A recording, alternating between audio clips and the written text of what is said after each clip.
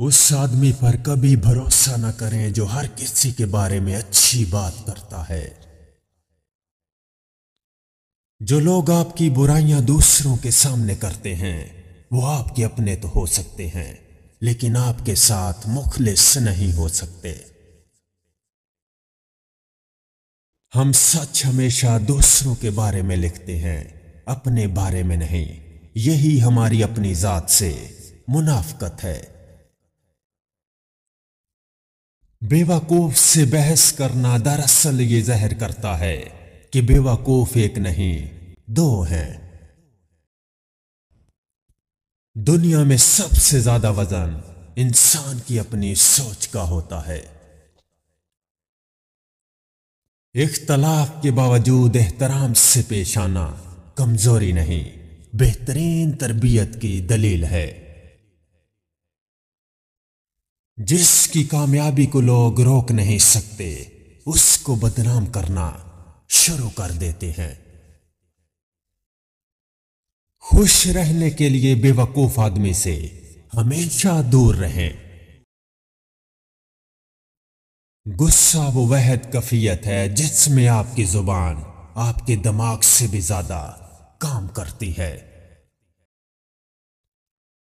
अपने फैसले बार बार बदलने वाला इंसान कभी कामयाब नहीं हो सकता। अपने जहन का इस्तेमाल ना करना और दूसरों की मर्ज़ी पर चलना मोहताजी की अलामत है। हमेशा याद रखें कि आपकी औलाद आपके नक्शे कदम पर चलेगी, आपकी नसीहतों पर नहीं। बेसकूनी की एक वजह यह भी है कि इंसान अपनी परेशानियों का ज़िक्र उन लोगों से करता है जो अकल से खाली होते हैं। खतरनाक है वो इंसान जो पहले सुनता है, समझता है और फिर बोलता है। जिस काम को करने के लिए आपको बेहद मेहनत और ताकत की ज़रूरत पड़े तो समझ जाएँ, आप सही काम कर रहे हैं। शक की दीमक सदियों पुराने ताल्लुक को भी हमेशा के लिए खोखला कर देती है। शीशे की तरह बने, जो कमज़ोर तो होता है, लेकिन सच दिखाने से कभी नहीं घबराता। गरूर और नफरत का नशा शराब से भी ज़्यादा होता है, जो एक बार इस नशे में मुबतला हो जाता है, वो जल्द होश में नहीं आता।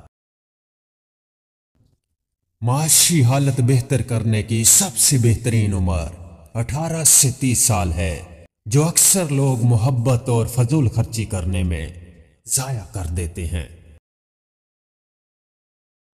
अल्फाज का इंतखाब सोच समझ कर करें। आपके अल्फाज, आपकी तरबियत, खानदान और आपके मासी का पता देते हैं। कश्ती सहरा पर सबसे ज़्यादा महफूज होती है, लेकिन कश्तियाँ सहरा के लिए नहीं बनाई जाती।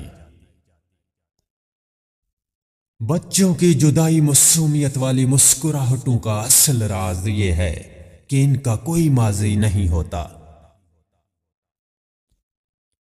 हसद एक ऐसी दीमक है जो इंसान को अंदर और बाहर से खत्म करती है। इंसान का आदा हुसन उसकी ज़ुबान में पोशीदा होता है।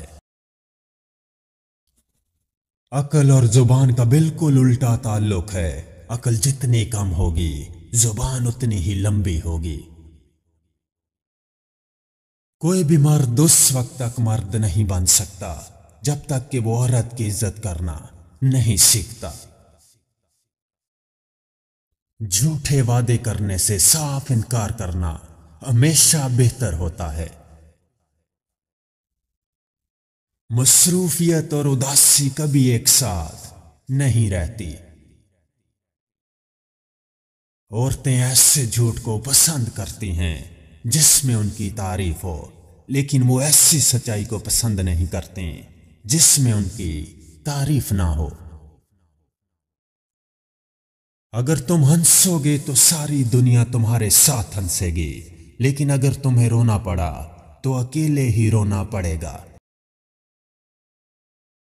बीस और तीस साल की उम्र में ज़्यादा मेहनत करें, ताकि आपकी आने वाली ज़िंदगी आराम से गुजरे।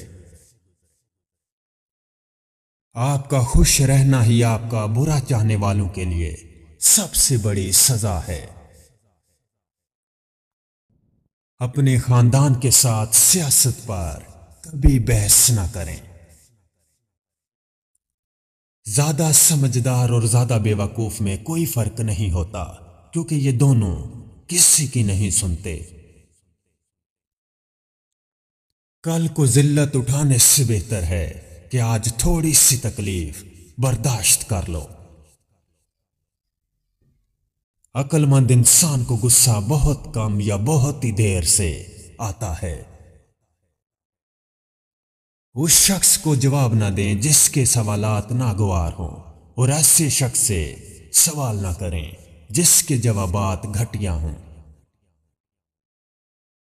दूसरों के रवैयों को यह इजाज़त ना दें कि वो आपके सुकून को तबाह कर दें। ये दुनिया है और यहाँ आप सिर्फ़ उन लोगों के लिए अच्छे हैं जिनके मुताबिक ज़िंदगी बसर करते हैं। अल्फाज इंसान के गुलाम होते हैं, जब तक वो बोले नहीं जाते। लेकिन बोलने के बाद इंसान अपने अल्फाज का गुलाम बन जाता है। बेवकूफ़ लोगों की ताकत को कभी भी कम नहीं समझना चाहिए। जो दूसरों को इज़्ज़त देता है, दरअसल वो खुद इज्जतदार होता है, क्योंकि इंसान दूसरों को वही कुछ देता है, जो उसके पास होता है। दोस्ती का हाथ सिर्फ़ वहाँ बढ़ाओ, जहाँ आपको इज़्ज़त, खलूस और सच्चाई नज़र आए, वरना तन्हाई ही आपका बेहतरीन दोस्त है। अपनी ज़िंदगी के लिए कुछ करें, ताकि तुम्हारी रातें पछतावे से भरी ना हो। अपनी तारीफ़ करना वो वह दैसी बात है जो अगर सच्ची भी हो तो भी नहीं करनी चाहिए। खुद को बुरा कहने की हिम्मत किसी की नहीं होती। इसलिए लोग दुनिया को बुरा कहते हैं। उन लोगों के साथ वक्त ना गुजारें जो आप में खराबियाँ निकालते हैं। जब किसी इंसान पर माली मुश्किल आती हैं, तब उससे पैसे की अहमियत का पता चलता है। खुशी के लिए काम करोगे तो खुशी नहीं मिलेगी, मगर खुश होकर काम करोगे तो खुशी ज़रूर मिलेगी। अगर आप अपने मसाल के बारे में किसी से मशवरा करने का इरादा रखते हैं तो पहले देखें कि वो शख्स खुद अपने मसाइल किस तरह संभालता है। आपके करीब तरीन रहने वाले लोग आपकी जहनी हालत को सबसे ज़्यादा खराब करते हैं। आप जितना ज़्यादा बुरा सोचेंगे, आपके हालात उतने ही बुरे हो जाएँगे। आपकी सोच आपको फ़ायदा तब देती है जब आप अच्छा सोचते हैं। वक्त जाया करना दरअसल ज़िंदगी बर्बाद करना है। बाजुकात आप जो मशवरा दूसरे लोगों को देते हैं, उस मशवरे पर आपको खुद अमल करने की ज़रूरत होती है।